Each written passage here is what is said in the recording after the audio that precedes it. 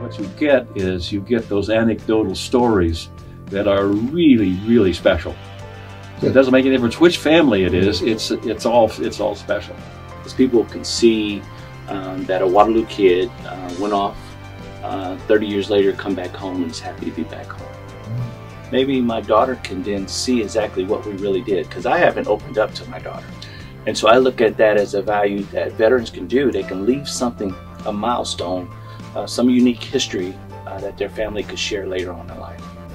Doing oral histories is important because at some point in time, we all as humans crave to understand and know where we come from. Our museums provide the opportunity for us to understand ourselves and our history. The Grout Museum has a strong tradition of collecting oral histories, and I hope we can continue to do that. Because once the storytellers are gone, we lose part of our history. Because I had just come from Mississippi, you know, I wasn't registered to vote in Mississippi. Being 21, you couldn't you couldn't register then. My dad was 60 years old when Martin Luther King came through before he could register.